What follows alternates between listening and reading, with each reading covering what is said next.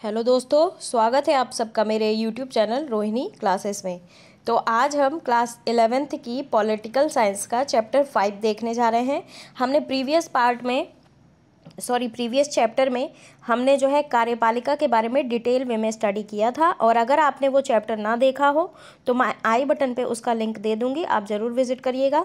और आज हम बात करेंगे विधायिका के बारे में, यानी कि हम आज जो है भारत के संसद के बारे में, पार्लियामेंट के बारे में बात करेंगे। ठीक है? भारत देश की ना जो ये विधायिका है, विधान पालिका है, ये एक बहुत ही सर्वोच्च निकाय है। ठीक है? और ये जो है ना द्विसदनी है, जिसके बारे में हम आज जो है डिटेल वे में स्टडी करेंगे, यानी कि लोकसभा और राज्यसभा के बारे में देखेंगे, इनकी शक्तियों के बारे में देखेंगे, किस प्रकार कानून बनाए जाते हैं, इसके बारे में हम डिटेल वे में स्टडी करेंगे। तो चलिए, बिना किसी देरी के स्टार्ट करते हैं। तो थोड़ा सा इसके परिचय के बारे में भी हम बात कर लेते हैं। देखिए, हम जो है भारत में चुनावों के महत्व, चुनाव के लिए जो प्रक्रिया अपनाई गई है, इसके बारे में हम अच्छी तरीके से अध्ययन कर चुके हैं पिछले चैप्टरों में। ठीक है? विधायिकाएँ जो है सीधे जनता द्वारा निर्वाचित होती हैं, यानी कि जनता ही उनको चुनती है और जनता के प्रतिनिधि के रूप में ये कार्य करती हैं। और इस अध्याय में आप ये देखेंगे कि निर्वाचित विधायिकाएँ जो है ना वो किस प्रकार कार्य करती हैं और लोकतांत्रिक सरकार को बनाए रखने में कैसे मदद करती हैं। आप जो है भारत में संसद और राज्यों की विधायिकाओं की संरचना और कार्यों और जो है लोकतांत्रिक शासन में उसके महत्व का अध्ययन करेंगे। ठीक है थोड़ा सा अगर मैं आपको बताऊँ तो हमारे भारत में देखिए द्विसदनीय व्यवस्था है, यानी कि दो सदन है। भारतीय संसद जो है राष्ट्रपति और दो सदन, यानी कि लोकसभा लोकसभा यानी कि लोगों का सदन, राज्यसभा यानी कि राज्यों की परिषद होते हैं, ठीक है? और राष्ट्रपति के पास ना संसद के दोनों सदनों में से किसी भी सदन को बुलाने या फिर स्थगित करने या फिर जो है लोकसभा को भंग करने की शक्ति प्राप्त है। तो भारतीय संसद जो है, का संचालन संसद भवन में होता है। ठीक है, जो कहाँ है? नई दिल्ली में स्थित है।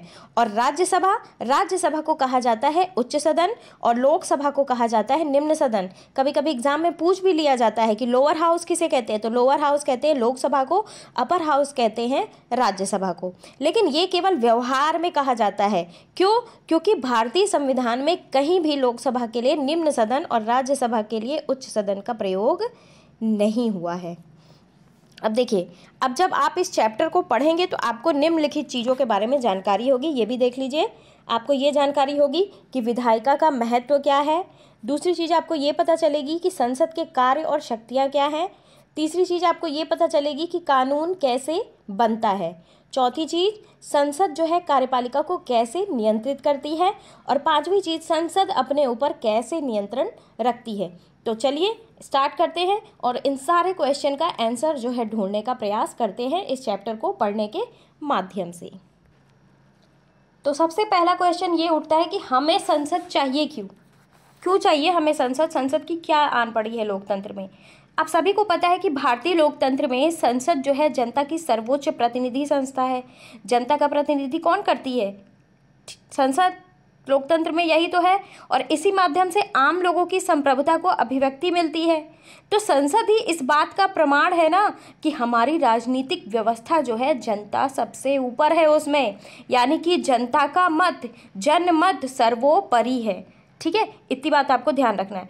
यानी कि संसदीय शब्द का अर्थ ये हुआ कि ऐसी लोकतंत्रात्मक राजनीतिक व्यवस्था है, जहाँ सर्वोच्च शक्ति लोगों के प्रतिनिधियों के उस निकाय में निहित है, जिसे कहते हैं पार्लियामेंट संसद। ठीक है? यानी कि भारत के संविधान के अधीन जो है ना, संघीय विधानमंडल को संसद कहा जाता है। और ये जो है, एक ऐसी धुरी है, एक ऐसा पोल है ना, जो देश के शासन की नींव है। ठीक है? नींव है। आप सभी जानते हैं कि बिना नींव के छत नहीं बनती। ठीक है? तो ये जो संसद है ना, ये देश की नींव है। और भारतीय संसद जो है, आप सभी को पता होगा कि राष्ट्रपति और दो सदनों, यानी कि राज्यसभा और लोकसभा से मिलकर बनी होती है। कई बार ये क्वेश्चन भी पूछ चुका है कि भारतीय संसद जो है, किससे मिलकर बनी होती है? तो राष्ट्रपति और दो सदन, राज्यसभा और लोकसभा। ठीक है?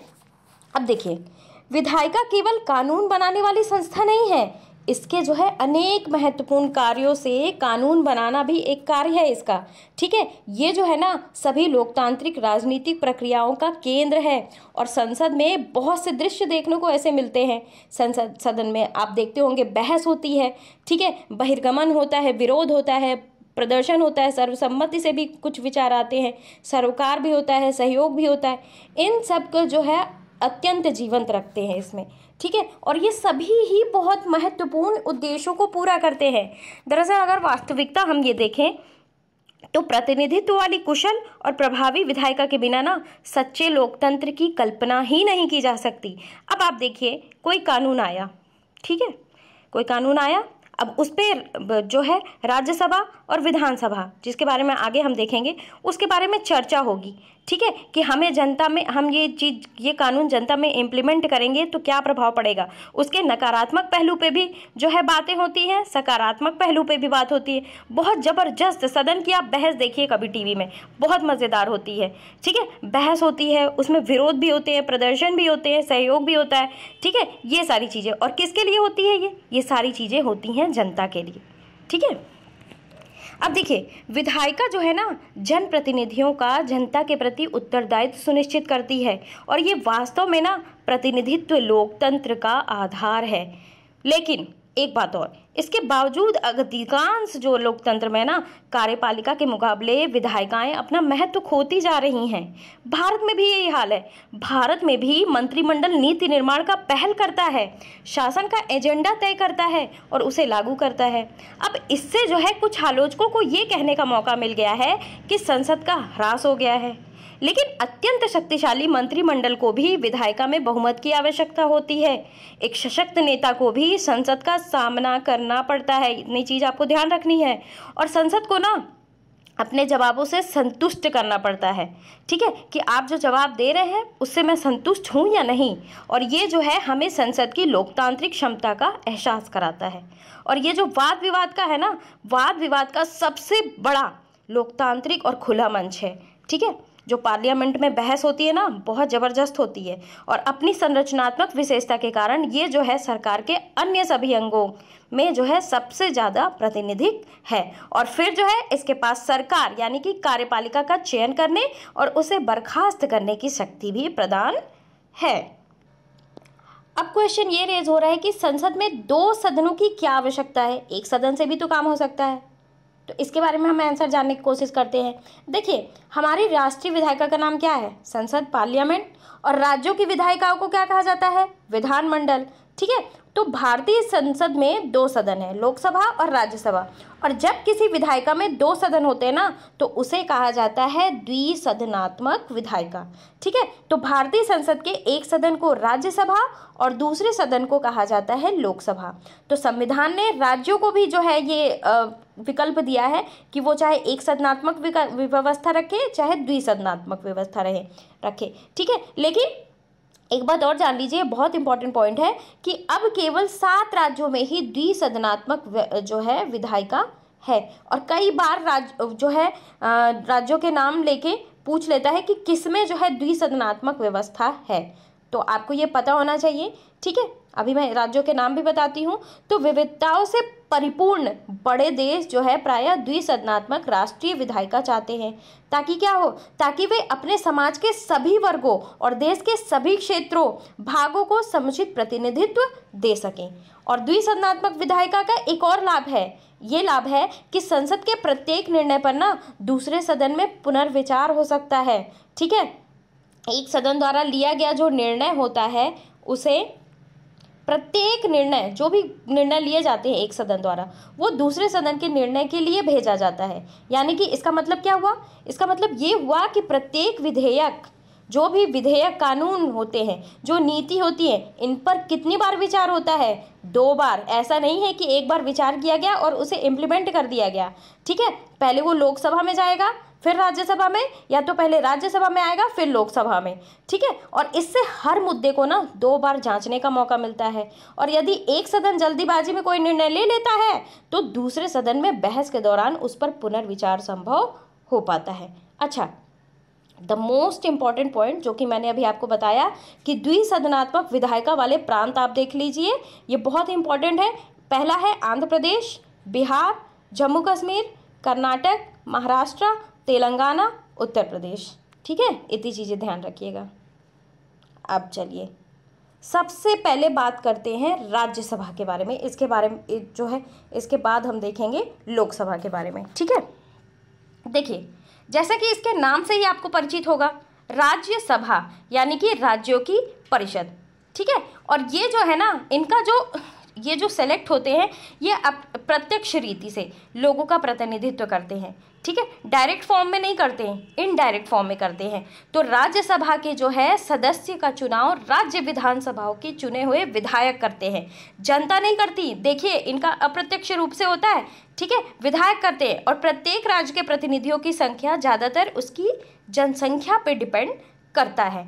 यानी कि इस प्रकार अगर देखा जाए तो छत्तीसगढ़ का देख ले तो राज्यसभा में पाँच सदस्य हैं। उत्तर प्रदेश में देखा जाए तो राज्यसभा में जो है इकतीस सदस्य हैं। इसी प्रकार अगर मणिपुर, मिजोरम, सिक्किम, त्रिपुरा, इन सब छोटे राज्यों में देखा जाए तो केवल एक सदस्य है। ठीक है? आप सभी को पता है कि उत्तर प्रदेश में सबसे ज़्यादा जनसंख्या है तो वहाँ पर राज्यसभा के सबसे ज़्यादा सदस्य हैं, इकतीस सदस्य हैं। ठीक है? ये चीज़ ध्यान रखना है।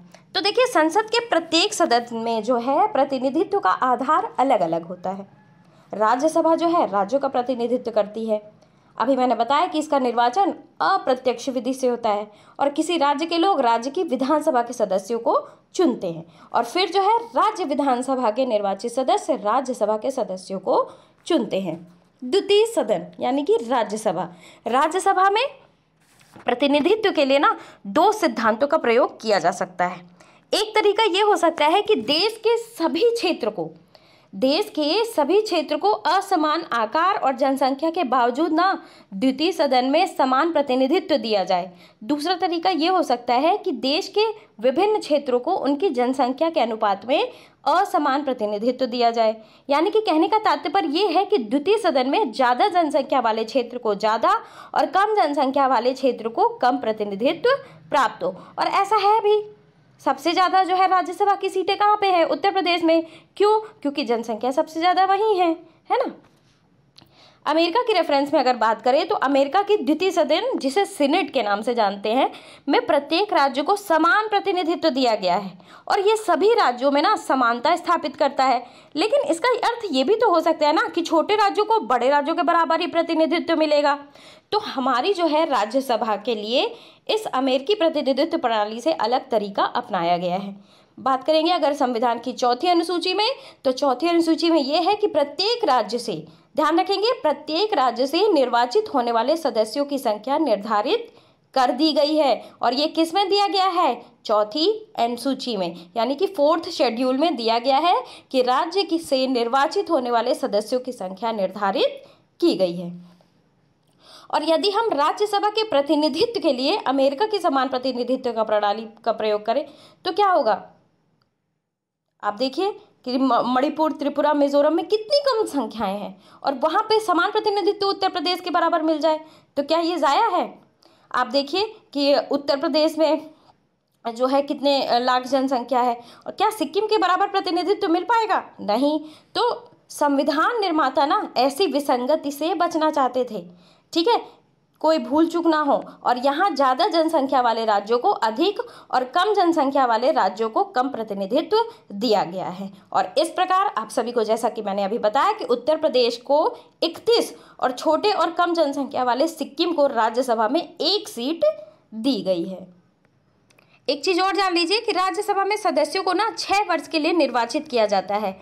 और एक चीज़ और, राज्यसभा में 250 तक सदस्य हो सकते हैं। ध्यान रखेंगे, राज्यसभा में 250 तक सदस्य हो सकते हैं, जिसमें जिसमें जो है, इसमें राष्ट्रपति द्वारा मनोनीत 12 सदस्य।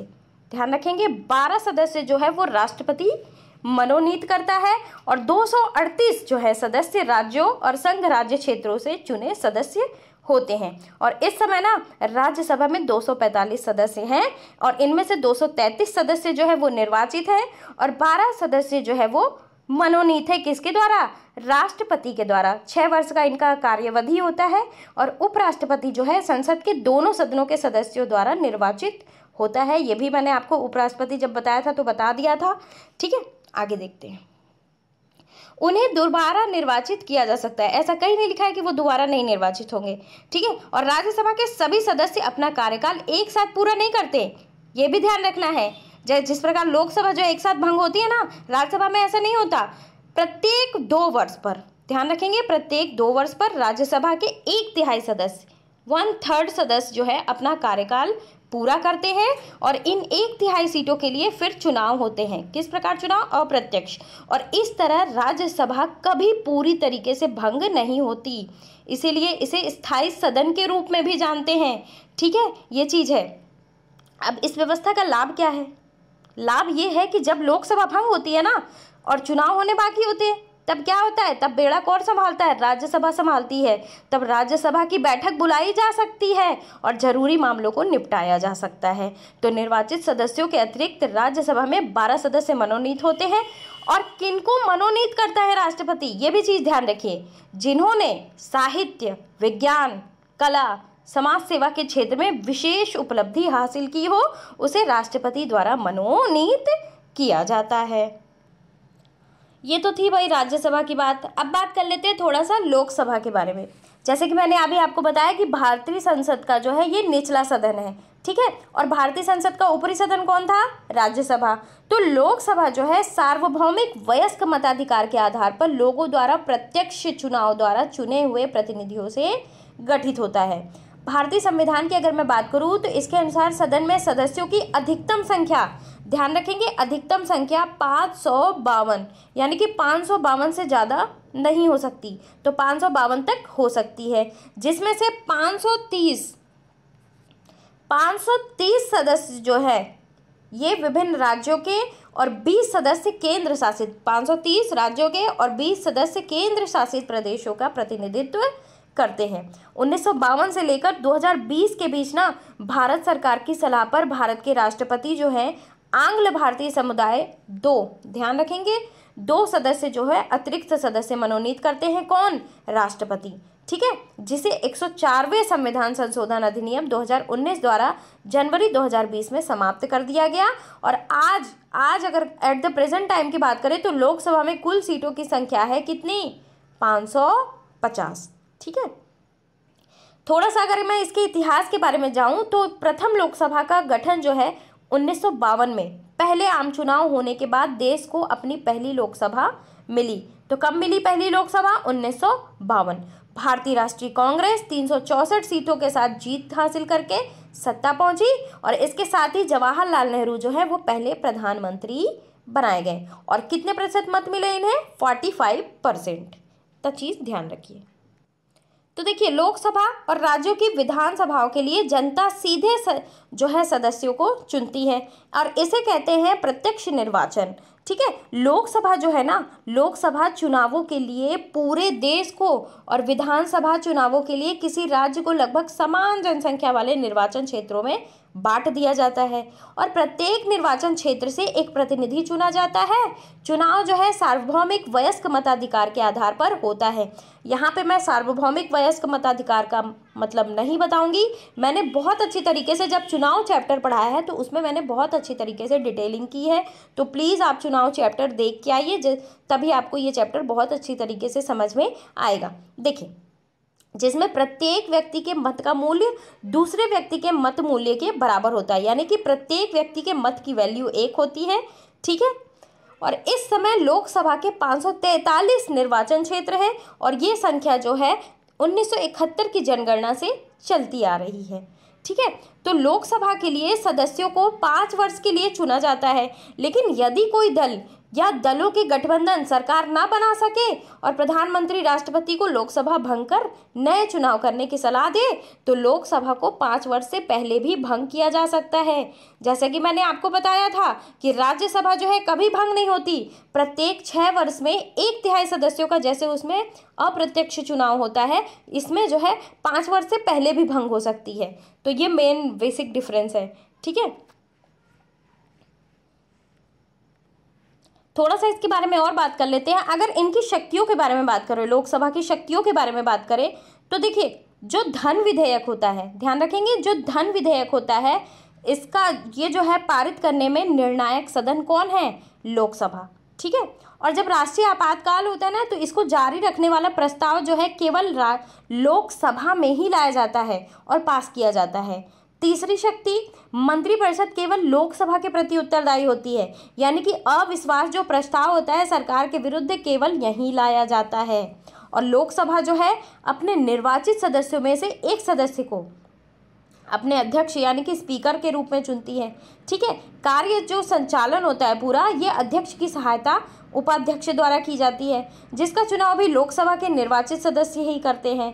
ठीक है अब लोकसभा अध्यक्ष के अगर कार्य की बात करूँ मैं तो लोकसभा के अध्यक्ष जो है, अध्यक्षता करता है और उसमें जो है अनुशासन, गरिमा, प्रतिष्ठा बनाए रखना उसी का कार्य है।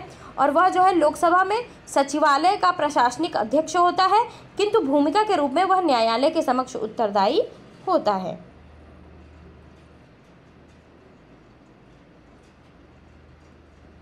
तो इतनी चीज़ें मैंने आपको बता दी। लोकसभा और राज्यसभा के बारे में आई होप अब कुछ रह नहीं गया है। ठीक है? आगे के पार्ट में हम देखेंगे संसद क्या करती है? यानी कि संसद के कार्यों के बारे में हम डिटेल वे में अगले पार्ट में देखेंगे। लोकसभा और राज्यसभा आपको पता चल गई होगी। विधायिका विधायिका जो है किससे मिलकर बनी होती है, ये भी आपको पता चल गया होगा। तो कैसा लगा वीडियो? ज़रूर आप मुझे कमेंट बॉक्स में बताएँ गाइस चैनल को सब्सक्राइब ना किया हो तो ज़रूर कर ले। ये बहुत ही बेनिफिशियल है आपके लिए। ठीक है? देखिए, कई सारे पेपर्स हो रहे हैं। सारे पेपर जो है एन फोकस्ड हैं। और आप लोग एन पढ़िए। आप आ, मैं दावा करती हूँ कि आपके कोई क्वेश्चन बाहर नहीं जाएँगे एनसीईआरटी से। जितनी दफ़े हो उतनी दफ़े एनसीईआरटी पढ़िए क्योंकि जितनी बार आप एनसीईआरटी पढ़ोगे उतनी बार आपको नया मैटर मिलेगा।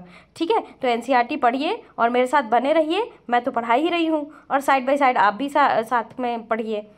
तो चलिए यही मैं अपने वाड़ी को विराम देती हूँ। Thank you very much